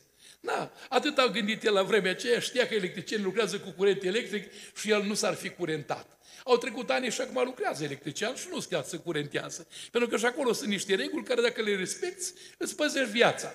Ei bine, dacă noi dăm un sfat copiilor noștri cu drag, Tatăl din cer nu ne-ar da sfat? Doamne, vreau să mă căsătoresc. Doamne, vreau să fiu cu Tine. Am nevoie de sfatul Tău. Bunul nostru Tată Ceresc e mai bun ca oricare din noi. A zis Mântuitorul, dacă voi care sunteți răi, dați daruri buni copilor voștri. Cu cât mai mult, Tatăl Ceresc dă lucruri bune, zice Matei, celor ce le cer. Luca spune, dă Duhul Sfânt celor ce îl cer. Dar în lucrurile bune, cine o femeie bună? Cere un partener bun, un bărbat bun. Cere de la Dumnezeu ce are El bun pentru tine ca să fii binecuvântat. Asta e prima condiție, să zidești cu Dumnezeu. Dacă nu păzește Domnul, sigur, protecția, așa cum fratele amintea, e pe mai multe domenii. Eu vreau să vă spun, protecția de siguranță a vieții în viața unora este accentuată printr-o formă exagerată de gelozie. Și asta este o mare pagubă. La un moment dat, datorită acestei forme exagerate și necontrolate, poate să apară inevitabilul și distrugerea. E drept, gelozia, într-un mod natural, rădăcina în Scripturi. Iată ce spune Biblia în Cartea Cântarea Cântărilor, la versetul 6 din capitolul 8. Pune-mă ca o pecete pe inima ta, ca o pecete pe brațul tău, că ești dragostea. Este tare ca moartea și gelozia, neînduplecată ca locuința morților. Jarul este jar de foc, o flacără a Domnului. Deci gelozia este normală să existe atunci când doi tineri au aflat planul Domnului pentru ei și vor să se căsătorească. El o iubește. Știți că Dumnezeu ne iubește cu gelozie? Scrie în cartea lui Iacob. Duhul care l-a pus Dumnezeu să locuiască în noi ne vrea cu gelozie pentru sine. E normal să fii gelos în sensul iubirii pozitive, gelozia aceea care te face să fii atent asupra modului de viață pe care l-ai cu soția și soția asupra modului de viață cu bărbatul. Dar ea este într-o primă fază o flacără Domnului. Însă, dacă gelozia îmbracă forma atacului necurat a unui duc străin, atunci are o stăpânire urâtă și rea. Și spune în cartea psalmilor, în cartea proverbe la 6 cu 34, gelozia înfurie pe un bărbat și nu are milă în ziua răzbunării. Nu se uită la niciun preț de răscumpărare, nu se lasă înduplecat nici chiar de cel mai mare dar. Ca tare spun eu, e drept să-ți iubești într-un mod pasionat soția și să-ți respecti soțul. Dar nu pentru o gelozie exagerată vei ocroti familia, că la un moment dat gelozia poate duce la nenorocire. Am avut din nefericire ocazia să intervenim lângă familii care au trebuit conciliate și care de la un vis că soția l-ar fi înșelat, era gata să ajungă în divorț. Sau de la o imagine pe care a avut ea părere despre soțul ei, că nu știu la cine s-a uitat în adunare. Venea o fată în adunare săracă și Condamnat era să stea în bancă cu capul în jos, să nu se uite la predicator. Din balcon bărbatul pusese observație pe ea și dacă ar fi ridicat capul să se uite odată, ai ceva cu predicatorul. Și era un chin groaznic până când Dumnezeu a rânduit într-o zi să elibereze familia aceea. Tatăl fetei mi era prieten. Ne-am rugat împreună și au fost discuții împreună. Odată mi-aduc aminte că în pretenția lui băiatul ăsta tânăr și gelos, se gândea ce face nevasta lui o zi, că el lucra la șantier undeva acolo și i-a zis, ia să vii tu la miază în fiecare zi cu mâncare la mine, ca să ai treabă, să mă pregătești, să o duci și după amiază să ai tu treabă, să nu treacă pe mintea ta nu știu ce gânduri. Și într-o zi când ne-a dus masa, un coleg se uită la el, Cornel îl chema și pe ăla. Măi, Cornel, ce nevastă drăguță ai! Să nu mai vii. Că uite, alții s-au uitat la tine și au văzut că ești frumoasă. De aici o fugăriță înapoi acasă, să nu mai vii. L-a scăpat Dumnezeu, acum e mare și el are copii căsătoriți. Dar când apare această formă, e o nenorocire. Nu prin gelozie trebuie protejată casa, ci printr-un act de curăție și trăire cu Dumnezeu. Ca și femeie, fă în așa fel ca să nu lași nicio umbră a geloziei prin purtarea ta pentru soțul tău. Ca și bărbat, la fel. Poartă-te cu acea sinceritate, să nu lași umbra geloziei. Dar rugați pe Dumnezeu să nu vină un duh de gelozie de la cel rău, că cel nu poate fi înduplecat. Creează nenorociri, sufocă familia și uneori starea asta o dus la divorț și la distrugere. Ei, dragii mei, vreau să merg puțin mai departe în principiile psalmului 127 și să spun că familia aia care ajunge biruitoare e una care se formează cu Domnul, e una care se protejează prin încrederea în mâna Domnului și prin păstrarea unei relații între Dumnezeu și între cei doi. Cine va dădea o schemă, nu pot să vă reproduc, dar închipuiți-vă triunghiul isoscel. Triunghiul social are două laturi egale, da? E așa frumos, așezat până jos. Într-un colț ar putea fi soțul, într-un colț soția și în vârf spre care tindem noi e Dumnezeu. Și spunea cineva frumos în aplicarea asta, învățați-mi într-o lecție odată. Cu cât te urci spre Dumnezeu, pe triunghiul isoscel, relațiile se apropie, se apropie, se apropie. Într-un fel erau la distanță când erau la bază. Într-un colț el și într-un colț ea.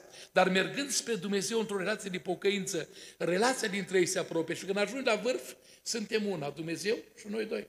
Suntem împletiți în trei deodată. Și spune cartea, funia împletită în trei, e tot mai tare. Ea nu se rupe. Familia asta are o viziune sănătoasă în ce privește munca. S-a spus aici, în cuvântul ăsta, degeaba vă scoaze dimineața, vă culcați târziu să mâncați o pâine câștigată cu durere, prea iubiților lui le dă pâinea ca în somn. Dumnezeu nu a încurajat niciodată lenevia. Vă aduc în fața dumneavoastră un verset din Scripturi găsit în Tesaloniceni. Spune cuvântul Domnului la versetul 10 din capitolul 3 din a doua epistolă. Căci când eram la voi, vă spuneam lămurit, cine nu vrea să lucreze, nici să nu mănânce. Auzim însă că unii dintre voi trăiesc în neorânduială, nu lucrează nimic, ci se țin de nimicuri. Îndemnăm pe oamenii aceștia și sfătuim în Domnul nostru Iisus Hristos să-și mănânce pâinea lucrând în liniște. Lenevia nu e încurajată de Dumnezeu. Pilda polilor ne spune că un om la Domnul și a zis, polul tău, Doamne, eu mai dus alții și altul iarăși, dar unul a zis, eu l-am pus într-un ștergar, l-am învelit, l-am îngropat. Și ce a zis Domnul către el? Rob, viclean și leneș.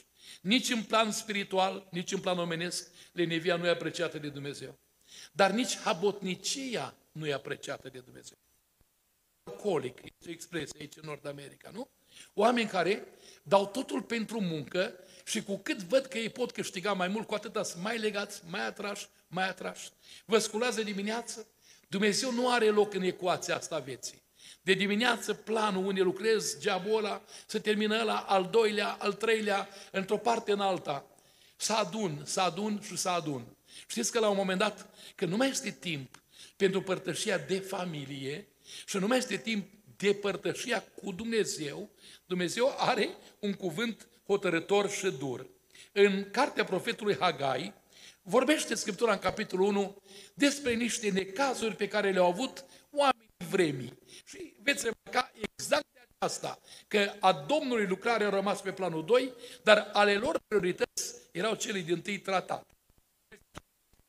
Așa vorbește oștirilor, uitați-vă cu băgare de seamă la căile voastre. Semănați mult și strângeți puțin, mâncați și tot nu vă săturați, beți și tot nu vă potoliți setea, vă îmbrăcați și tot nu vă este cald și cine câștigă o sâmbrie, o pune într-o pungă spartă. Așa vorbește Domnul și uitați-vă cu care de de voastre. Suiți-vă pe munte, aduceți lemne și zidiți casa. Eu mă voi bucura de lucrul acesta și voi fi proslăvit, zice Domnul.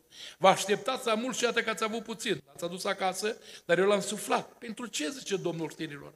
Din pricina casei mele, care stă dărâmată, pe când fiecare din voi aleargă pentru casa lui. De aceea cerurile nu v-au dat ploaia și pământul nu și-a dat roadele. Am chemat seceta peste țară, peste munți, peste grâu, peste mus, peste unde lemn, peste tot ce poate aduce pământul, peste oameni și peste vite și peste tot lucrul mâinilor voastre. De ce a chemat Dumnezeu seceta? Din pricina casei mele care este dărâmată. Domnului nu mă preocupă, nu mă interesează, sunt alții care trebuie să o facă, eu sunt interesat doar de mine. Domnul poate sufla cu ușurință tot ce aduni. Și pui într-o pungă spartă și te miri în ce împrejurări se duc și nu mai sunt. Cunosc multe exemple, dar timpul nu dă voie să le spun acum. Dar cunosc oameni care au adunat mulți bani. Unul îmi spune odată, am lucrat cu el în 1999, vreo două luni împreună prin Irlanda. Am făcut o gentuță de bani, frate, o gentuță de bani, am venit din Libia. Mă gândeam unde să investesc, unde să investesc, ce Atâția bani aveam, fericit așa n-am fost niciodată. Cu atâția bani care aveam. Și odată mă revândându să-i mulțesc de opt ori la Caritas la Cluj. I-am băgat acolo și nu i-am mai mulțumit. pe toți. Și acum era în Irlanda și când am plecat acasă, m-a rugat, du la soție mii de mărci, ea locuiește undeva acolo, așa, în mijlocul țării, m-am dus eu și am dus banii. După ce la o vreme sun eu la telefon că trebuia ceva să discutăm și o aud în mijlocul unei zarve. Ce se întâmplă, soră? Las că-ți explic acum sau un meeting special. Mă sună înapoi. M-am gândit că Ionică muncește așa de greu și-o trimis banii și am gândit că eu care sunt acasă să-i mulțesc și eu. Și m-am dus și am pus la FNI, Fondul Național de Investiții. Și FNI avea o reclamă, dorm liniștit, FNI lucrează pentru tine. Mai târziu a apărut o caricatură în ziar. Omul mort, liniștit că FNI a lucrat pentru el. S-au dus și banii de la FNI. Și toți banii adunați și din Libia și din Irlanda s-au dus într-un moment când s-au dus. Mai eu nu fac judecăți adresa acelui om, dar era așa de harnic și priceput, pe ce punea mâna izbutea. Nu mă știi ce n-avea el pe inimă, să vii la adunare. Foarte rar venea la adunare, tras așa. El zice, acum duminică, m-a chemat cineva să mașina și ies un ban de acolo. Și scotea un ban și îl punea lângă un ban. Și o pus într-o gaură spartă, într-o pungă de un inum. Poate face să pierzi. Familia asta biruitoare se formează cu Dumnezeu, se protejează cu Dumnezeu și muncește mod raționat. Munca e pentru noi și pentru noi. Principiul ăsta l-a enunțat Domnul Isus. Căutați mai întâi împărăția lui și hănirea lui, Matei 6 cu 33. Celelalte lucruri vi se vor da. Dacă Domnul dă, puținul sporește, îți ajunge și trăiești mulțumit. Dacă Domnul îți ia, îți ia și nu ai ce face. Eu v-am zis odată, Domnul a dat și Domnul a luat. Deci Domnul poate să ia, fie ca încercare, fie ca pedeapsă, dar poate să ia. Familia asta de la Psalmul 127, care e tare, pe lângă faptul că are o viziune sănătoasă în ce privește munca, fratele Andrei are o viziune sănătoasă în ce privește nașterea de copii, fraților. Aici scrie în Biblie, nu, nu ideea mea, nu e lui Andrei, nu e a dumneavoastră. Iată, fiii sunt o moștenire de la Domnul, rodul pântice este o răsplată dată de el. Venirea unui copil în lume nu-i nici blestem și nu-i nici nenorocire. Biblia spune că e o binecuvântare. Dacă îi privești ca binecuvântare și din momentul în care consideri că se vor naște, îi vei accepta ca binecuvântare, va fi bine. Dacă nu, s-ar putea să fie un tânăr necăsătorit, dar pe fratele Ionică Lăzăreanu la nuntă.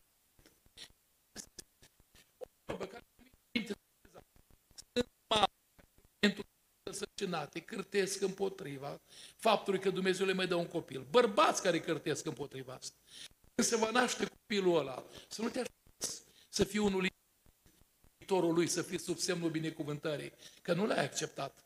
Maria care a zis odată, iată roba Domnului când o primit vestea, facă-mi se după cuvântul tău, după voia ta. Ei bine, când auzi că îți vine un copil, închină-te și mulțumește lui Dumnezeu și roagă-te pentru el din pântecele mamei. Doamne, fă să fie sănătos. Să nască un copil normal. Și apoi ce doresc, Doamne, copilul care Tu ni l-ai dat. Să cu el împreună în împărăția Domnului. Fraților, nu sunt lipsiți de greutăți cei ce au copii.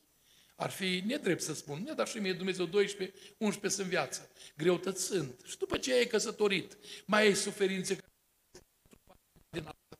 Pe planul general, care dacă Domnul să ai și multă bucurie, ai și multă încurajare, ai și multă mângâiere și nu rămâi singur a nimănui.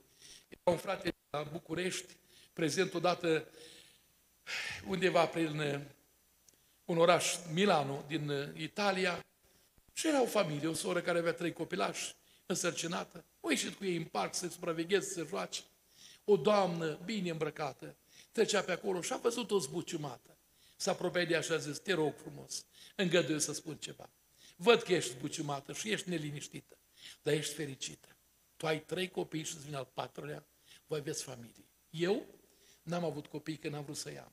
A avut o, o funcție în minister, bărbatul i a fost profesor universitar.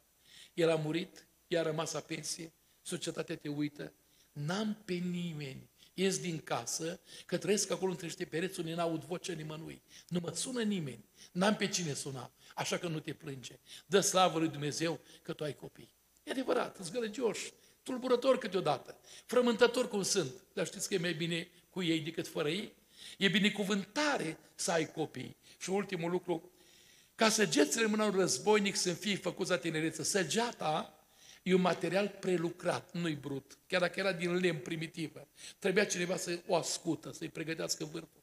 Mai târziu a avut poate vârf din piatră. Mai târziu a fost din metal. Săgeata este un act prelucrat. Copiii ce Domnul ne dă sunt în mâna noastră și avem datoria prelucrării lor. Și fără să intru în detalii, am văzut, sincer vă spun, ca om care am ajuns la 60 de ani, sunt la senior de acum, din februarie, sunt și eu la senior cu 60 de ani. Vreau să vă spun, nu așa de mult o preocupare profundă cu nu știu ce școală și unde să-l împingi să salvezi copilul. Modul cel mai concret și sigur este modul acesta, care Biblia ne-l spune nouă și eu vreau să vă citesc din Cartea Proverbe 22 cu 6. Învață copilul pe calea, calea care trebuie să urmeze și când va îmbătrâni, nu se va bate de la ea. E ca să-l înveți. Mergi tu întâi pe calea care trebuie și el merge după tine. Asta e cel mai puternic exemplu pentru copilul tău. Ce vrei să fie copilul tău, fii tatăl, tu întâi. Mergi pe calea aia. Învață-l cuvântul Domnului pe care tu îl prețuiești și îl respecti. Și roagă-te pentru el și roagă-te împreună cu mama și cu el. Astea sunt lucruri care pot asigura. Mă întreba odată cineva, frate, vă invidiez, aveți copiii pe care Domnului, ce metode ați folosit? N-am folosit metode nu știu ce sofisticate, n-am folosit cursuri de psihologie, n-am învățat nu știu pe unde aia, aia și aia. Vreau să vă spun, cele mai simple sunt astea. Trăiește cu Dumnezeu. Roagă-te pentru copiii tăi și învață-i calea Domnului. Vor îmbătrâni, dar vor rămâne cu ea. Așa se formează familia care învinge pe cel rău. Frate Andrei, nu știu cât mai ascultat, Alexandra, nu știu cât m-ați ascultat, dar dacă aveți înregistrarea, tot o să mai puneți câteodată. Când o să fie o altă zi, mai liniștită, nu așa plină de emoții, să ascultați încă o dată principiile care fac posibil o familie să învingă pe cel rău. Noi dorim să fie și familia voastră, una care învinge pe cel rău. Și familia Iacoban, și familia Lupancu, și rudele dumneavoastră, părinții, bunicii, noi, din adunare, Domnul să ne binecuvinteze ca familie biruitoare prin Domnul Isus. Amin. Îl rog pe fratele Iacoban, bunicul care mai trăiește, să vină în față și împreună le vom pune întrebări și apoi ne vom ruga. Ne ridicăm cu toții în picioare.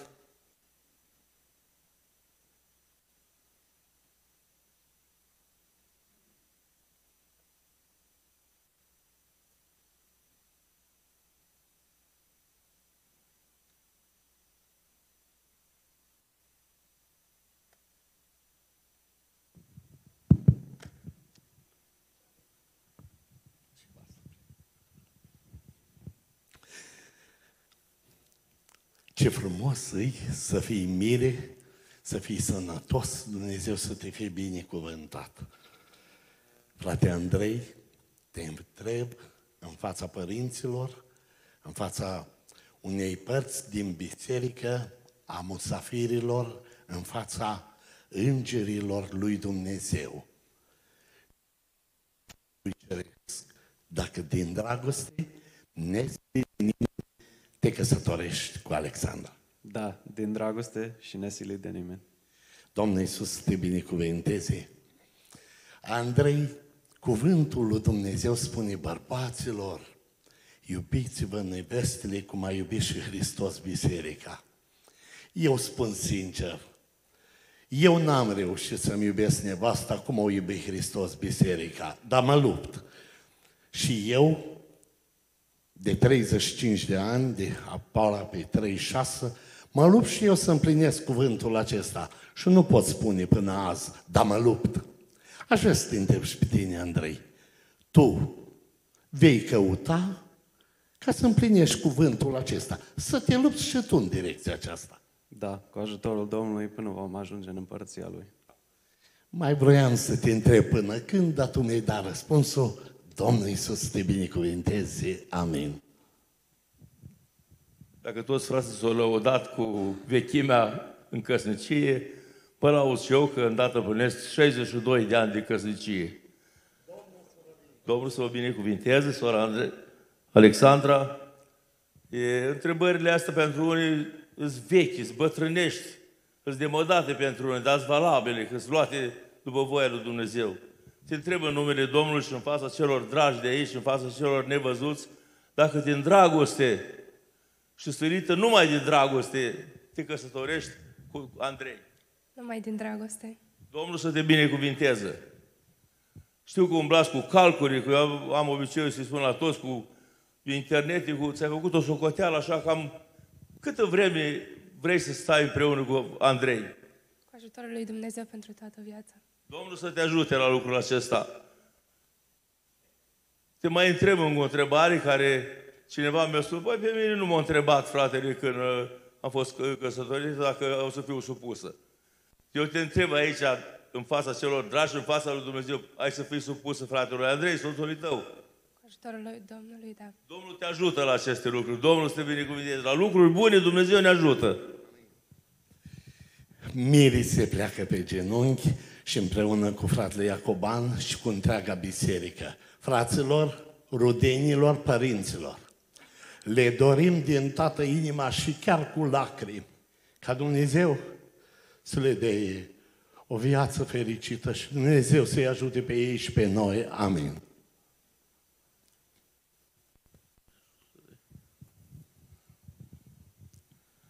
Tatăl nostru și Dumnezeul nostru, te binecuvântăm, te slăvim, te onorăm ca Tată și Stăpân și îți mulțumim pentru că în ziua aceasta suntem aici, la legământul acesta măresc, Doamne, din viața lui Andrei și a lui Alexandra, așa cum stau înaintea Ta pe genunchi, te rog să-ți reversi binecuvântarea Ta peste ei.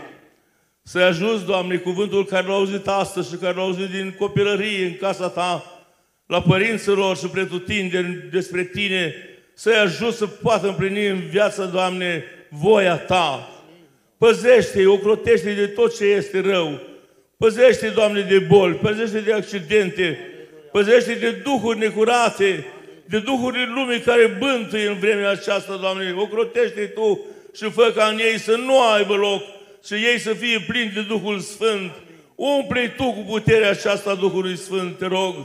Ajută-i să se obișnuiască, Doamne, din primele zile când vor locui împreună, să se plece pe genunchi înaintea Ta, să-ți mulțumească pentru cei bine, să-ți mulțumească și pentru cei mai greu pentru noi, să ceară ajutorul Tău și rezolvările vin de la Tine, mărit să-ți fie numele. Dacă îi vei da copii, Doamne, să le dai copii sănătoși, copii frumoși, Doamne, copii care când vor ajunge mari și ei să slujească pe numele Tău, mărit să fie numele Tău. Te rog să binecuvintezi aceste două mame care au luptat, care au legănat, care s-au sculat în nopți târzei și au vegheat asupra lor și astăzi să bucură cu lacrimi că îi văd aici în casa ta și încheie legământul acesta de căsnicie. Te rog, privește cu îndurare, Doamne, și să răsplătește osteneala acestor mame și în continuare să aibă bucurii de la ei, să poată să-i vadă că te slujesc pe tine și să se bucure de lucrul acesta. Binecuvintează tasă aceste părinți care cu mâini harni și-au lucrat, Doamne, și-au adus pe Andrei și pe Alexandra în starea aceasta fericită de a încheia un legământ de căsnicie. Binecuvântă și răsplătește-le Tu. Ajută-i și binecuvintează în continuare. Încredințăm în brațul Tău, Doamne, și știm că Tu poți să dai mai mult decât cerem noi. Mai pe sus de toate, te rog, dă-le o credință sfântă, neprefăcută, dă-le credință dată Sfinților, dată pentru totdeauna, Doamne, și în această credință să umble zi de zi în viața lor. Sprijiniți de Tine și ajutați de Tine, credințăm în brațul Tău și așteptăm, Doamne, să vedem rezultate bune în viața lor, rezultate cât te slujesc pe Tine și rămân lângă Tine. Amin. Continuăm să ne rugăm înaintea Ta, Părintele nostru Ceresc, din toată inima. Îți mulțumim pentru această zi binecuvântată când Tu ai ajutat pe Alexandra și pe Andrei să vină în casa Ta, Doamne, ca să ceară binecuvântarea Ta, Doamne, recunoscându-ți suveranitatea peste tot ce este în universul acesta. Tu ești ziditorul, Tu ești în măsură să zidești o casă, să o aperi, să dai un final fericit în împărăția Ta. Te rugăm din toată inima, rămâi cu binecuvântarea Ta peste ei, Doamne. În numele lui Isus Hristos îți mulțumesc în ziua aceasta că Alexandra și cu Andrei sunt în casa ta, au încheiat un legământ cu un timp în urmă în apa botezului și azi încheie un alt legământ în fața poporului prezent și în fața ta. Te rugăm din toată inima, ajută-i, Doamne, să respecte aceste legăminte. În numele Domnului Isus îți mulțumesc, Doamne, pentru părinții lui Alexandra, pentru Lidia și pentru Ilie, pentru bunica Valeria care mai este în viață, pentru frații lui Ilie care sunt aici. Te rog din toată inima pentru familia lui Pancu și familia lărgită a lor să lași binecuvântarea ta. Din toată inima îți mulțumesc pentru Sorin și pentru Rodica și pentru căbunicilor care mai sunt aici, a lui Andrei, fratele Gheorghe Iacoban și cu sora Olga. Mai sunt în viață prin îndurarea ta. Te rog din toată inima, binecuvântă întreaga familie, Doamne. Ai purtat de grijă și te-ai ridicat ca apărător din anii tinereții Doamne, ai ascultat rugăciunile bunicilor, a părinților și cred că și ei vor conta pe răspunsul la rugăciune care îl dai muritorilor. Te rog să asculți rugăciunile lui Andrei și lui Alexandra. Doamne Dumnezeule, să binecuvintezi casa în care vor locui, locurile lor de muncă, când vor mai merge la școală să fii cu ei, să le deschizi uși care nimeni nu le poate deschide. Apără-i la locul de muncă, apără-i în viață la plecare și la venire, la culcare și la sculare, apără-i într-o lume periculoasă, păstrează-le inima, credincioși fiind unul pentru celălalt, și amândoi credincioși ție. Îi încredințăm în brațul tău puternic, care n-a suferit înfrângere și nu va suferi niciodată. Rămâi Domnul vieților și tu să fii Mântuitorul lor și am nostru al tuturor. Amin. Îi rog pe tineri să se ridică în picioare în baza dragostei lor, a cununii civile și a cununii religioase care a avut loc aici, îi declarăm căsătoriți și cu bucurie spunem Domnul nostru, împăratul nostru și creatorul nostru e Dumnezeu și El a spus așa, ce-a împreunat El, Dumnezeu, omul, oricine, nici din America, din toată lumea asta, nu are voie vreun om fără să afecteze viața lui ca judecător, spun, și suveranitatea lui Dumnezeu rămâne suveranitate. Ce-a împreunat Dumnezeu, omul să nu despartă. Domnul Iisus să-i binecuvinteze și dorim prin fratele Sorin Iacoban să aducem mulțumire Domnului, care până aici ne-a ajutat. Îl invit pe Sorin să vină în față și doresc ca Dumnezeu să rămână în continuare cu noi. Amin. El va aduce și mulțumiri publicului după ce va aduce mulțumiri Domnului.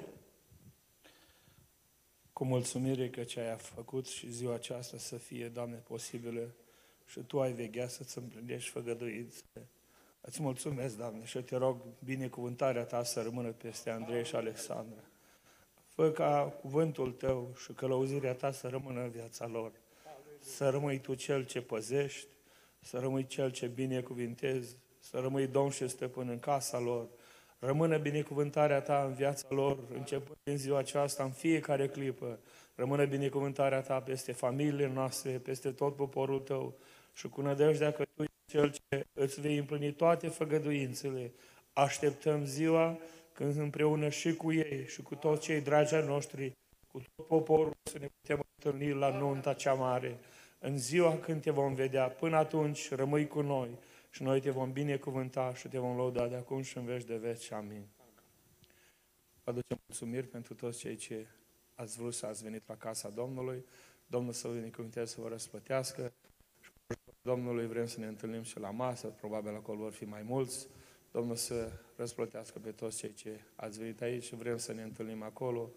Uh, Masa este la Biblos, cel mai simplu este să mergem pe Telegraf 94, 94 la Southfield și ieșim la Michigan Avenue și Michigan cu Chase. Acolo este masa. Domnul să vă binecuvânteze. Michigan cu Warren. Warren cu Chase. Am Michigan cu Chase. Am greșit eu. emoții și eu am venit să mulțumesc celor de, din Chicago și de pretutindeni, că până la urmă când începe a spune localități, mai scap din vedere. Cu ajutorul Dumnezeu, în timp ce frații laudă pe Domnul cu o cântare, mirii înaintează la prioritate și apoi noi după ei, cu ajutorul Domnului, să fim alături de ei și în continuare vă mulțumim în numele Domnului tuturor. Amin.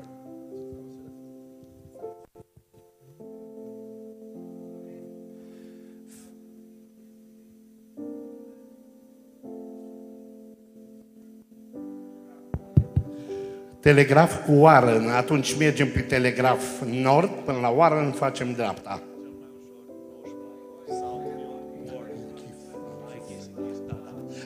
Deoarece Southfield e închis, mai bine mergem pe telegraf nord până la Warren și acolo facem dreapta. Vă mulțumim! Fericită să fii, fericită să fii, o pereche cum Domnul vă vrea. Fericită să fii, fericită să fii,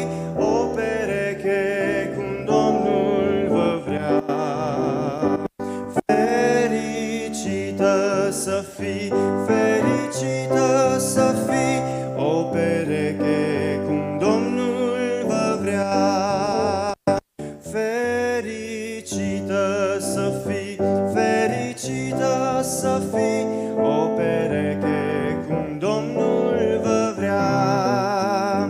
Neîncetați zi de zi, neîncetați zi de zi, peste voi harul său revărsa.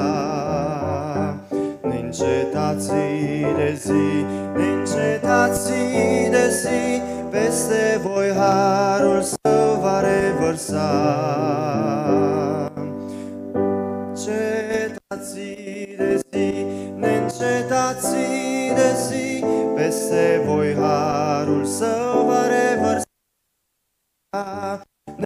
去的，记。